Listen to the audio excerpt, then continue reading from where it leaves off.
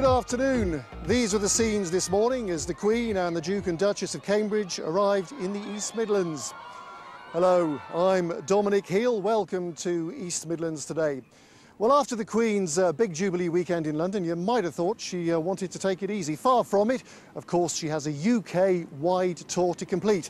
And today it was him and the East Midlands turn, and she was greeted by thousands of spectators every step of the way. These were the scenes in Nottingham as the Queen arrived at the city station, formally greeted by the Lord Lieutenant of Nottinghamshire, Sir Andrew Buchanan. A very warm welcome from the Duke and Duchess, who had flown in by helicopter. Then a moment two young girls will never forget. Six-year-old Elsa Buchanan presented Her Majesty with a small posy. Uh, Seven-year-old Lily Hatton also did and performed a curtsy for Kate. The route from the station to the market square absolutely packed with thousands of people. Once in the square, the royal party chatted to the crowd. Some had been waiting since six o'clock in the morning. Then the long awaited moment at the Council House on the balcony and the playing of the national anthem. Fantastic scenes. Well, as I was saying, you had to be up very early to wait for the Queen, and our Kylie Pentelow did just that. So it's six o'clock in the morning. I've come down here to do live broadcast during our breakfast news. And to be honest, I thought I'd be the only person in the old market square. But as you can see, I'm not. These people must have got up very early indeed. Crocheting kept Margaret from Tollerton busy. Her and husband Tony arrived before five o'clock. I think there's only a couple of road sweepers here before us. Why are you here? Because it's the Queen. She's our heritage. She means everything. You couldn't sleep all night, could you? She's so excited. Now, it looks to me like you're the most enthusiastic one, and you've kind of brought your friends along. Is that true? Kind of, yeah. I'm, I'm a very royalist. Like, my room's all like Union Jacks and everything like that, so I'm kind of very much pro. I think you're very good friends. it's not the first time crowds have gathered for the royals in the old market square. This is before the coronation in 1949. Then, too, Princess Elizabeth met the people and appeared on the balcony. It's now 9.30 and as you can see, the square is full of thousands of people just waiting for the Queen. At a quarter past 10, the Queen in mint green, followed by Kate and William. And for those who'd been here for five and a half hours, all that waiting was worth it. Amazing scenes uh, in Nottingham and amazing scenes later here at Vernon Park at Basford in Nottingham, which was the uh, Royal Party's second stop of the day. This is a, green lung, if you like, for a, very heavily built up part of the city. And the reason the Royals came here was very special too, because this park now has, uh, if you like, a royal seal of approval. It's going to be protected for generations to come. This report from Carol Hines. Around four miles from the Old Market Square is Vernon Park in Basford. It has strong sporting traditions, and the Duke of Cambridge was invited to start a Diamond Jubilee Dash, a relay race for children. On your marks, get set. But this neighbourhood park is to become one of 2012 specially selected fields to commemorate the Queen's Diamond Jubilee. On behalf of all of us enjoying ourselves here today, I congratulate the organisers of this event, but most particularly everyone at Fields in Trust, who worked so tirelessly to ensure that wonderful places like Vernon Park are protected for future generations to enjoy. The Duke of Cambridge, who is patron of the Fields in Trust charity, which is behind the park's change of status, spoke warmly of his grandparents' involvement in the charity. Thank you all so much, Your Majesty, and the Duke of Edinburgh, for everything you've done throughout your reign to protect these vital outdoor places for the nation. And then it was time for the royal party to hear from the children of Stanhope Primary School. They performed a song written by one of their choir leaders, especially for the Jubilee. Carol Hines, East Midlands Today. Well, those crowds are now beginning to melt away, but uh, staying behind, I'm pleased to say, is Eddie Curry, Nottingham City Council's Head of Parks and Open Spaces. Um, what a fabulous day. Was it everything you expected? Uh, it was actually more than we expected. It was a fantastic crowd, really good. The weather stayed fine for us, and I think everybody really enjoyed the day. And in terms of protecting the nation's open spaces and parks like this, Prince William did a really good PR job for that, didn't he? Absolute fantastic ambassador for the Queen's Elizabeth you know, Jubilee sort of trust, and I think you know that will really help to protect parks and open spaces all over the over the country.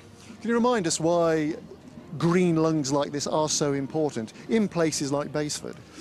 Well, I think if you look around, the area is very heavily built up, and actually these green lungs in the city really do help to provide valuable spaces for people to come and enjoy a day out free of charge and enjoy the fresh air and, and, and, a piece of the countryside in the middle of the city. So it's a really great, valuable space for people to enjoy.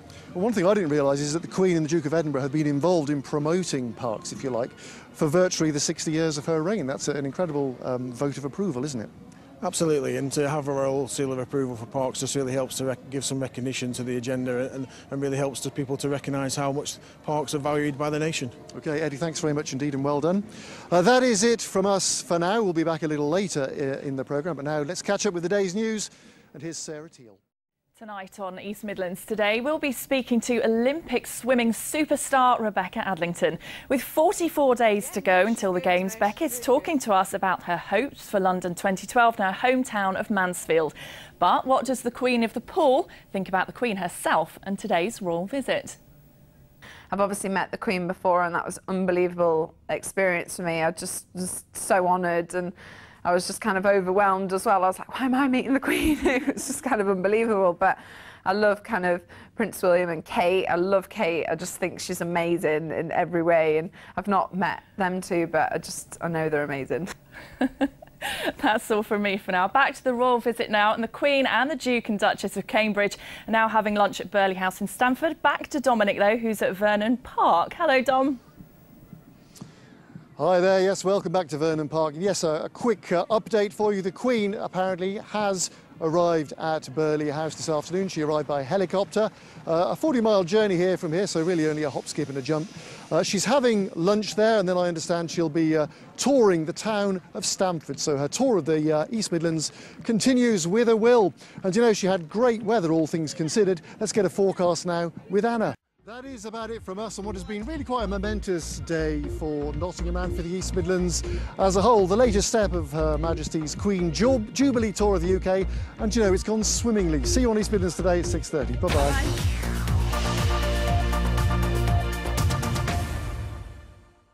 Our top story tonight, the Queen, Kate and William take Nottingham by storm.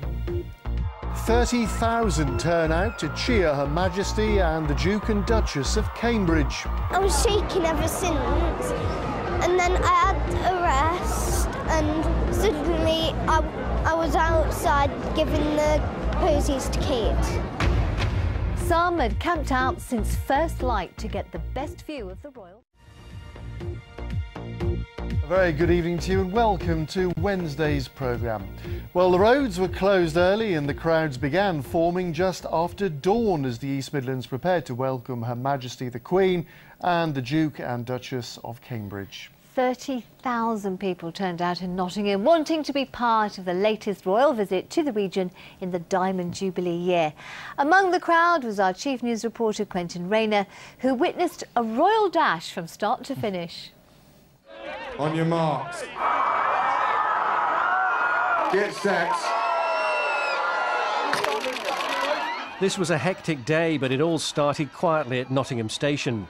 The welcoming party included familiar faces as the Queen was met by the Duke and Duchess of Cambridge on their first official visit together to the East Midlands.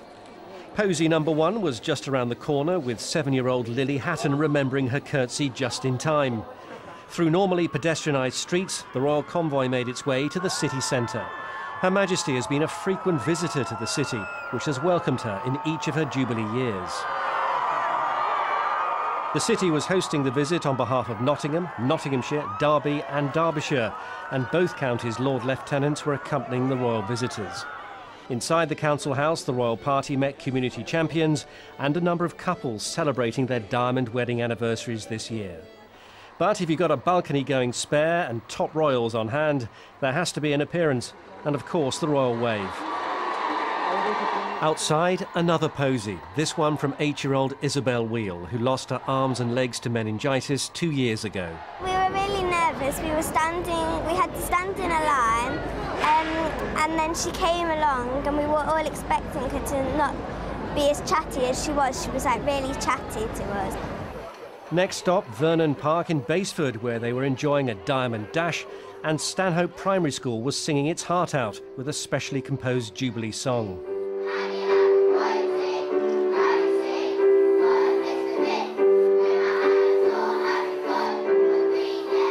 As patron of the Fields in Trust, Her Majesty granted the park Queen Elizabeth II field status, protecting it for future generations. Her grandson paid tribute. Thank you all so much, Your Majesty, and the Duke of Edinburgh, for everything you've done throughout your reign to protect these vital outdoor places for the nation. This was a day of memories.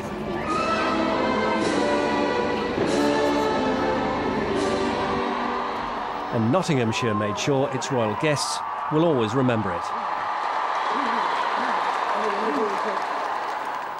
It was quite something.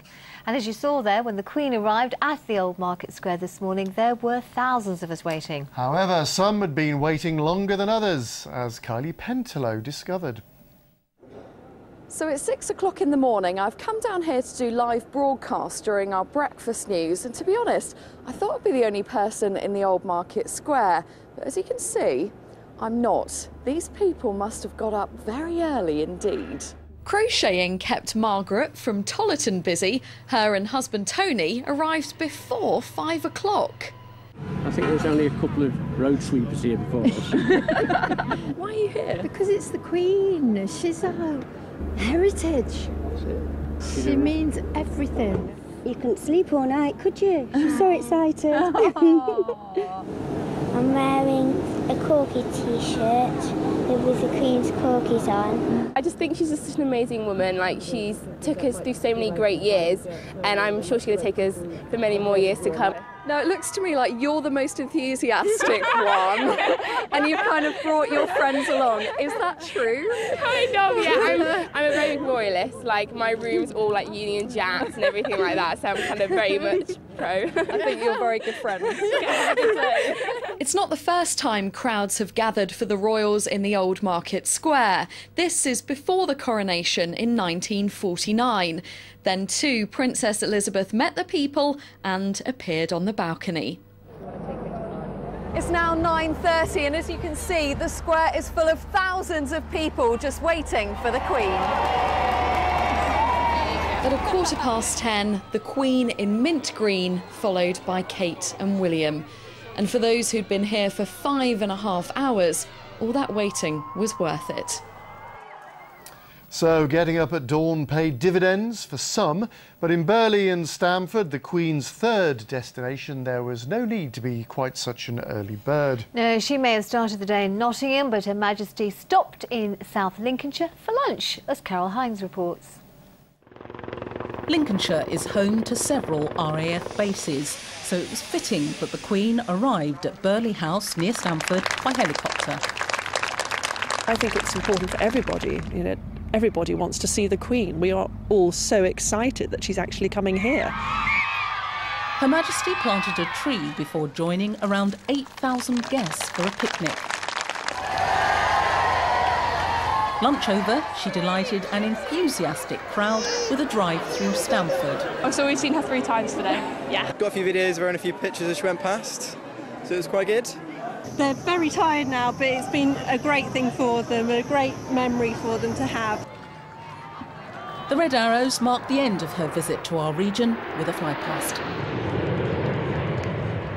Carol Hines, East Midlands Today.